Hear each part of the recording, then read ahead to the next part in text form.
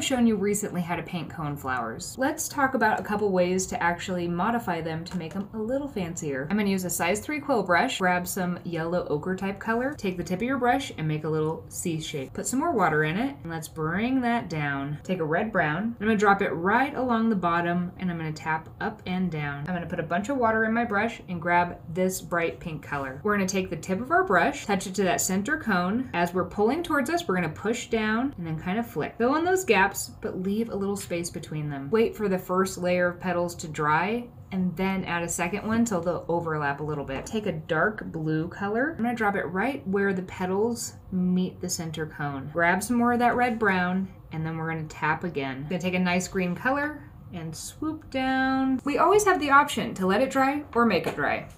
And when it's dry, we can come back in and sketch in the details using the colors that were already there, but just in a more defined manner.